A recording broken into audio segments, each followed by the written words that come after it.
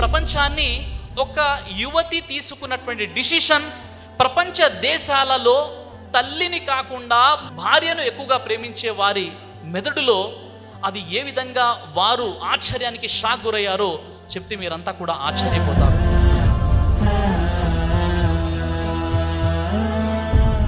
అదేమిటంటే సౌదీ అరబ్లోని ఒక యువతి న్యాయస్థానంలో ఒక పిటిషన్ దాఖలు చేసింది. అందులో ఉన్న విషయం ఏంటంటే నా భర్త నుండి నేను విడాకులు కోరుతున్నాను. ఎందుకంటే ఇతడు తన తల్లి కంటే ఎక్కువగా నన్నే ప్రేమిస్తున్నాడు. కాబట్టి దయచేసి జడ్జ్ గారు నాకు ఈ వ్యక్తితో విడాకులు ఇప్పించండి అని పిటిషన్ దాఖలు చేసింది.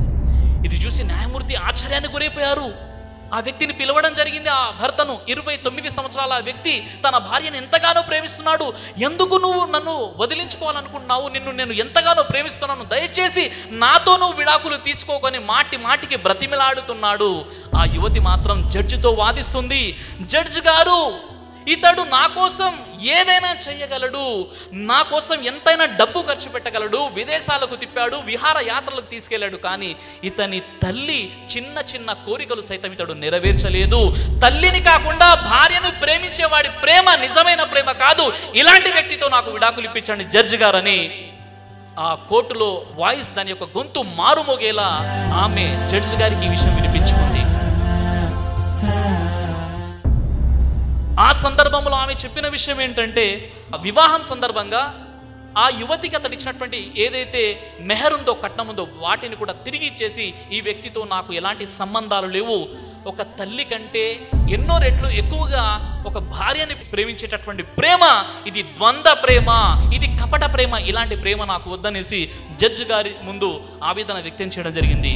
ఇవన్నీ విషయాలు పరిశీలించినటువంటి జడ్జ్ గారు చెప్పిన విషయం ఏంటంటే కుటుంబంలో అగ్రస్థానం తల్లిది. తల్లిని కాకుండా తల్లి కోరికలు సామాన్య సాధారణ కోరికలు కూడా నెరవేర్చకుండా భార్యకు బానిసరాలైనటువంటి వ్యక్తి అది ప్రేమ కపట ప్రేమ నిజమైన ప్రేమ కాదు. మీకు నేను విడాకులు మంజూరు చేస్తున్నానని కోర్టులో తీర్పు ఇవ్వడం జరిగింది. ప్రపంచ వ్యాప్తంగా సంచలనం సృష్టించినటువంటి విషయం ఇది. మిత్రులారా ఇస్లాములో భార్యని నెగ్లెక్ట్ చేసి భార్యని నిర్లక్ష్యం చేసి తల్లిని ప్రేమించమని ఇస్లాం చెప్పట్లేదు. తల్లి స్థానం వేరు భార్య స్థానం వేరు.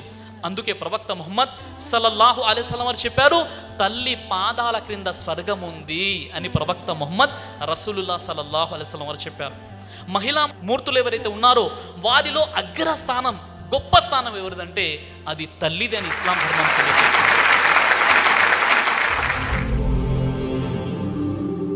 బ్రదర్ సిరాజ్ అని యూట్యూబ్ ఛానల్ని మీరు సబ్స్క్రైబ్ చేసినట్లయితే ఇన్షాల్లా దేవచిత్తం అయితే మీకు వీడియోస్ వస్తుంటాయి. అదేవిధంగా బ్రదర్ సిరాజ్ అనేటటువంటి ఫేస్బుక్ని కూడా లైక్ చేయడం వల్ల మీకు వీడియోస్ వస్తుంటాయి.